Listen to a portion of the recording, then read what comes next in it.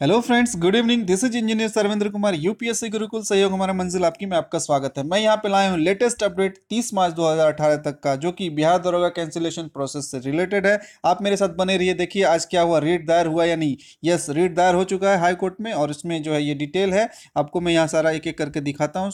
आप मेरे साथ बने रहिए, देखिए पूरा वीडियो जानिएगा पूरा सच। आइए देखते हैं एक एक करके क्या है डिटेल क्या स्टैंड है हाईकोर्ट का। यहाँ पे देखिए। ये है एक्नॉलेजमेंट स्लिप मिला है। The high court of judicature at Patna acknowledgement slip इतना है। टिकट नंबर ये है आपका।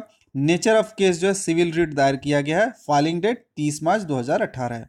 पिटिशनर नेम जो है, जितेंद्र कुमार के नाम से ये फ़ाइल हुआ है।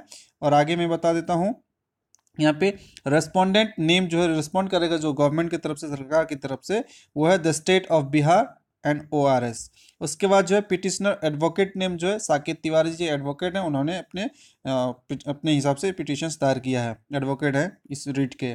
उसके बाद फ्राइडे तीस मार्च दो हज़ार अठारह को ग्यारह चालीस तक में ये पिटिशंस दायर कर लिया गया था। ये एक्नॉलेजमेंट स्लिप है डिटेल है। यहाँ पे अब देखिए नोटिस में क्या क्या लिखा है इन्होंने। इसको मैं पूरा एक एक करके बताना चाहूँगा। देखिएगा।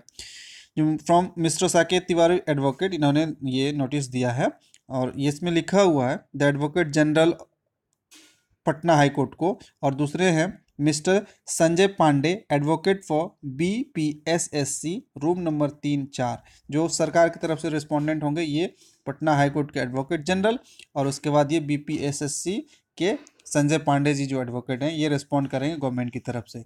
अब इसमें लिखा क्या देखिए यहाँ पे मेनली ये एक सेकेंड ये मेन चीज़ दिखाता हूँ आपको।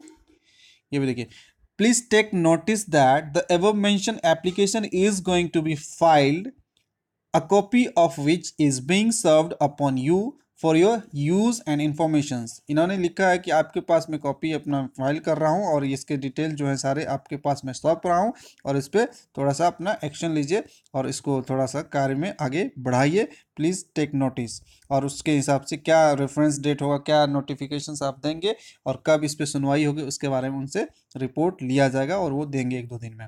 तो यहाँ पे देखिए काइंडली एक्नॉलेज द रिसिप्ट यहाँ पे जो रिसीव जो रिसीव किया है, उसके बारे में वहाँ पे डिटेल है कौन रिसीव किए हैं। तो मनीष कुमार जी हैं, इन्होंने रिसीव किया receive by a notice copy या मनीष कुमार जी के द्वारा will appear on behalf of the state Manish Kumar ji appear होंगे स्टेट के गवर्नमेंट के जगह पे, ये सारे सुनवाई को देखेंगे कि वहाँ पे क्या अपना रिस्पोंडेंट वहाँ पे जो जवाब होगा कोर्ट में, वो ये देंगे, और उसके साथ साथ में संजय पांडे जी भी देंगे। और यहाँ पे तीस तारीख को देख रहे हैं, अठारह तीस तीस मार्च दो हज़ार अठारह को ये रिसीव कर लिया गया है। और ये कौन है? Section office section office receiving incharge एक सेकंड मैं इसको थोड़ा सा फिर से बताता हूँ। एक मिनट जूम कर देता हूँ थोड़ा सा, ये देखिए। यहाँ पे लिखा हुआ है section officer receiving incharge advocate general office Patna high court, Patna. Patna high court के एडवोकेट जनरल के ऑफ़िस से ये रिसीव हुआ है, मनीष कुमार जी के द्वारा।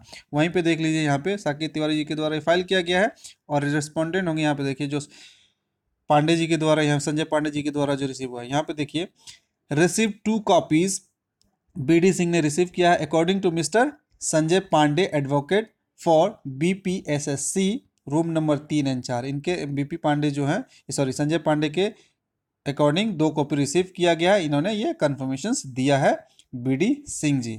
तो इस प्रकार से ये रीट दायर हो गया फ्रेंड्स हाई कोर्ट में। अब देखना है कि ये सुनवाई का डेट कब देते हैं और उसके हिसाब से क्या स्थिति बनती है। इसके लिए अगले अपडेट के लिए मेरे साथ बने रहिएगा। मैं लेकर के फिर आऊँगा अगला अपडेट और उम्मीद करता हूँ कि हाई कोर्ट का जो डिसीज़न हो स्टूडेंट के पक्ष में आए, रद्द हो जाए एग्ज़ाम और फिर से एग्ज़ाम ऑर्गेनाइज हो। तो बस आज के लिए बस इतना ही। ये आपके लिए नोटिफि आपके लिए इन्फॉर्मेशन था। तो मैं सोचा आप लोगों को शेयर कर दूँ। आप लोग डिमांड कर रहे थे क्या स्थिति है, क्या हुआ क्या हुआ। तो ये डिटेल था। तो आज के लिए बस इतना ही। बहुत बहुत धन्यवाद। शेयर कीजिए इस वीडियो को, ज़्यादा लोगों तक पहुँचाइए ताकि इससे सब लोगों को जानकारी मिल पाए। और यदि वीडियो अच्छा लगता है तो प्लीज़ लाइक माई वीडियोज़ और जो सब्सक्राइब नहीं किए please subscribe my channel thank you very much thank you for this notification